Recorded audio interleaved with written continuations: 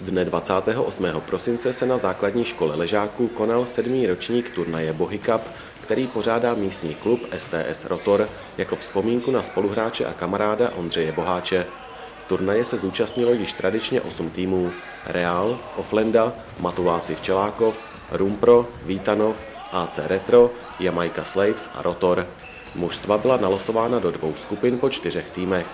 Po zápasech ve skupinách a vyřazovací části vykrystalizovaly boje o přední umístění.